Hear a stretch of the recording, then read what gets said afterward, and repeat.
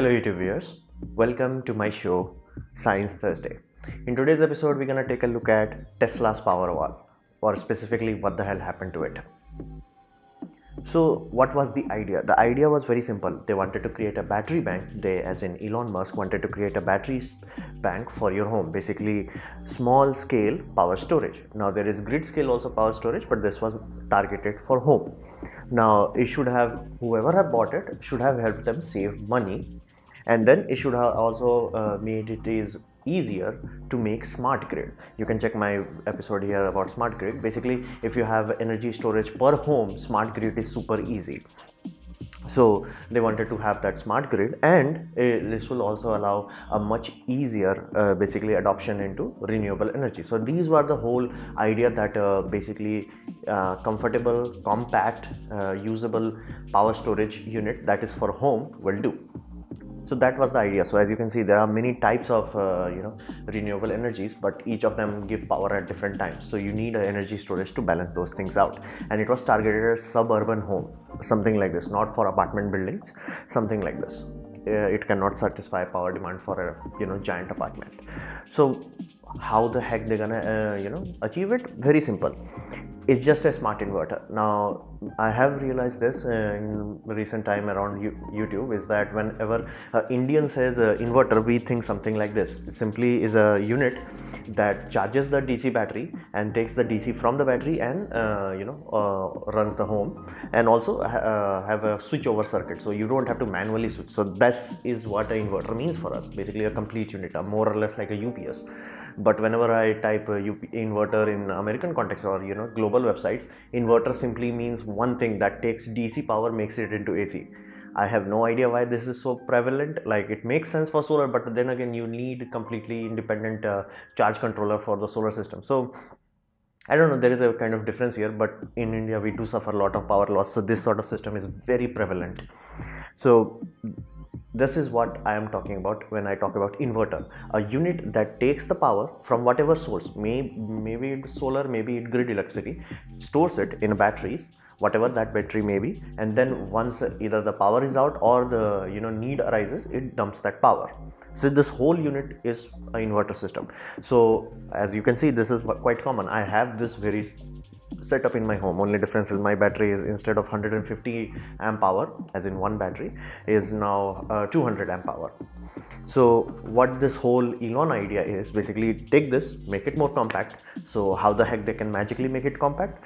Lithium ion cells is uh, three times more energy dense and also uh, almost a tenth of the size. So size is also shrinking when you are going to lithium.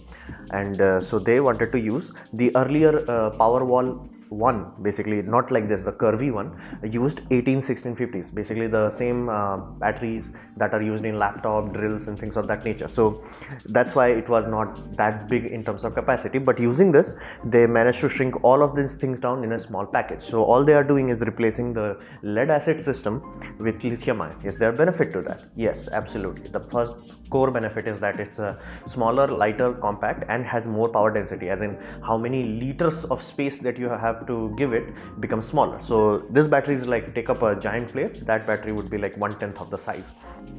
And they cycle much more often as in uh, lead acid battery can comfortably cycle for let's say 1000 to 2000 cycles these can comfortably cycle from 3000 to 5000 so when gigafactory started to you know come online elon musk is like okay let's uh, create a new battery standard which is not so to say created by elon musk. It's like from samsung and lg they both wanted to introduce a new battery standard. Instead of 18650 now we have what we call 20 uh, 21 uh, 700 so basically it's a bigger cell. So as you can see the power uh, jumped from uh, 3 amp hour to 5 amp hour. So the cell is not that big but energy capacity wise is quite big. So that's why it this puppy has got a power boost. And uh, current tesla models basically use this one. Rather than using old laptop batteries as in 18650s uh, they are using the newer one so that's what they did. Now their innovation comes from the fact like this sort of system is quite common for us. So what they did is like did everything every aspect of smart automation every aspect of uh, grid integration every aspect of app integration they did all of that in one package so if i have to like something about them it's like they did a very good packaging job like 10 out of 10 so what the hell happened? Why the heck it's not everywhere? One simple reason the reality kick in. Basically the idea was that it will save you power. Now you're like how the heck that it could do that the idea is if many places in this planet have what we call dual tariff, as in your daytime electricity, so called peak power, is much more expensive compared to the power that you can buy at night. So at night, let's say per unit of electricity is one dollar. In peak time, it would be two dollars. So save money. The idea was that you wanna charge your battery uh, during night and during daytime when it's peak hour, instead of running from peak hour time, you will directly use the battery bank. So now the problem with that is like only few places actually have this. This is very common for industrial sector but not for average suburban home. And the places that have uh, that kind of expensive electricity uh, basically generally also have a very good quality of electricity. As in uh, they to for them to justify spending $5000 minimum was not something that is super easy. Like to do what exactly? That uh, is gonna save me money but in uh, is gonna save me money like let's say in future after 10 12 years why not simply put that $5000 in a bank? So the reality kick in. And the whole problem was that $5000 may sound uh, very awesome and like given the fact that what it is doing the problem becomes the fact that many times cost reaches a point where we call uh, no purchase cost. Basically even though it's awesome nobody would buy it simply it's too expensive uh, this Tesla Powerwall and uh, Elon Musk combined basically he always sells things at a lower price as in like oh my car is $30,000 price range car. When you actually buy it ends up uh, you know $39,000 and in case of Powerwall same happened. $5,000 but by the time you have the install and all things done you are looking at upwards of 6,000 now he did learn from his mistake because powerwall 1 did not even had inverter built into it. So powerwall 2 the basically the square one that you see has an inverter built into it. So they did learn but in uh, so the cost has gone down a little bit but it's not cheap by any stretch of the imagination. Now the best article i found on top of that is uh, i think in times of india or something like that. Uh, they said like this is a very niche application for uh, rich green people. And it makes sense because it to truly uh, justify it you must have rooftop solar. Rooftop solar does not make too much financial sense. It's uh, only feasible if you are doing it in large uh, solar farms. If you are expecting to put solar farm unless the electricity that you are buying is super expensive this will not make sense. So the the amount of people that will actually benefit from that shrunk. So you must have a system that you already have a like you know solar power and then there is a very good chance if you already have it. Either you are already in a tie-in from your grid system basically you're gonna use solar whenever it's available. If solar is overproducing as in like your home is not consuming you're gonna sell it. When uh, solar is like let's say solar power goes down during night you simply buy the electricity. So there is a simple balance. That way people who have invested in this sort of system they get their uh, money back. Basically the investment pays off in uh, 8 to 10 years. Now if you add battery to it you do get one advantage that uh, overpower uh, production is not sold to the grid. Many grid does not like the idea that you are pumping electricity into them uh, because it does unbalance the uh, grid. So it has to be done carefully basically. So they do not like the idea. So you might be buying electricity from them at let's say one dollar per unit they would be uh, giving you like when you are selling to them they will only give you 10 cent per unit. So uh, this does not actually you know translate that much. So in this sort of scenario this becomes even more a niche of a product. So everybody who installed it they're happy with it. But point is it's a very very very narrow uh, you know operational range where it will actually benefit you. And be mindful solar cells have a working life of 25 years this battery bank even though it's pretty awesome even though it's using lithium ion technology only comes with 10 year warranty. And i'm actually glad that they are actually giving like 80% power capacity at 10 year. They might change it. So if they didn't change it this is freaking awesome. That means you can actually rely on it. Let's say a 13 kilowatt system will remain at a 10 kilowatt uh, system till uh, let's say 10 year pipe. But again you invested $5000 you could have invested in uh, you know larger solar systems. And that way even though you are selling at uh, you know at a loss you could have sell them so much that you would have been profit. So you can understand like in reality it's so niche that people are like eh, it didn't catch on that for that reason. And not to mention uh, supply and demand because elon has a habit of like overselling and then it's like yeah we are uh, dealing with backwaters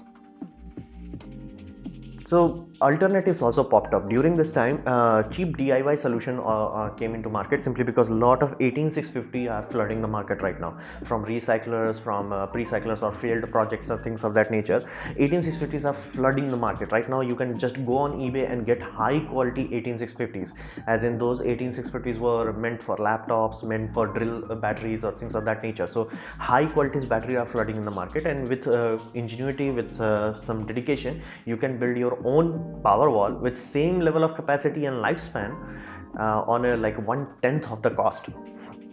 So cheap uh, those who are really dedicated to that uh, you know the cost the green energy cost they will be simply doing it themselves. And not to mention when powerwall came out it wasn't the only product in the market it wasn't like you know okay uh, tesla did that nobody else did that. Mercedes benz also did that. And there is this another company which did this. And uh, i like the idea that uh, tesla powerwall is kind of complicated to attach uh, you know attach multiple of them. What they have created is called battery blade. Basically you simply buy a server rack and you keep placing as many as you need. So th- this kind of awesome. I like the idea. So uh, it wasn't like they were competing in a market like they popularized the idea. But when people actually start to look around it's like okay what can we buy? What would you rather have in your home mercedes or tesla? Mercedes or tesla? So things of that nature started to happen. So their business model was like okay we're gonna make awesome product. Okay we're gonna deliver it when? Failed to deliver on time. And the cost was not as cheap as thought. And it only makes sense if uh, you know you are looking in 5 10 15 years of time frame so suffice to say it did not catch on as uh, you know mind-bogglingly as people hoped. So what we can expect in the future? First thing and foremost it has to come down in cost. Now there is a hope around the horizon because if we start using these batteries which we call lithium phosphate chemistry they are more safer. Uh, they are like uh, they also last longer and they are safer. Consequence they are a bit less energy dense but for home application they are uh, phenomenal and government actually starts to chip in. Without government chip in this sort of system will not catch on. Now is there a benefit for government to do this? Yes. Imagine it this way. Let's say you are uh, living in britain or india and every home big home like not every single home i'm talking about but every big home that is like you know uh, two three bedroom home uh, suburban home starts to have battery banks. So government can easily regulate the power. So what does that mean? Simply think of it this way. During peak times they can simply discharge the current from uh, they can basically shut you down and you're like okay okay they are running on battery banks. And uh, during that time they would not need to start a you know peak generators. Peak generators are very very powerful generators but they are very inefficient generators. They are generally run on diesel or some uh, some types of gas you know propane methane or things of that nature generally to like you know compensate for peak time power demand. Now they can hand, uh, run those generators or simply shut down uh, every you know secondary load basically your home. And your home won't go uh, you know into power outage simply because you have battery bank. That way a government can really really uh, elongate the life of their aging electrical grid. So this there is some potential into it. There is an actual uh, benefit to be had if this sort of stru- structure can be done. And those people who have uh, electric cars they also can use the battery of electric car itself as a you know power storage so there is long, a lot of room of improvement, but again, it always comes down to the same fact. Elon always oversells and always under delivers. All he needs to do is just simply say, okay, we are working on it. That's it. When it comes out, like we're gonna tell you. Of course, we're gonna tell you because if it comes out, we're gonna tell you, and then you're gonna buy it, and we're gonna make sure that we can actually sell it. We don't like you know pile up five million back orders and things of like that nature. So this is a problem, and many of you are who are you know uh, keeping up with Elon must have realized recently he got into a lot of legal trouble because of uh, this sort of behavior. So be mindful. Like this power wall could have been a good thing if he had simply said, okay, we are working on something, we're gonna release it, and we're gonna see how it works, and then we're gonna upgrade our production because Gigafactory is still not complete. That's why the power wall uh, cannot be just you know mass produced as they as they thought. So this was my presentation on what the hell happened to the power wall. And i hope you liked it or learned from it. In that case please leave a like. If you didn't don't worry about it. You can dislike it. I would urge you to leave a comment on my episode. And uh, please share it amongst your friends using hashtag s2t and subscribe. Press the bell icon if you are free. And as always thanks for watching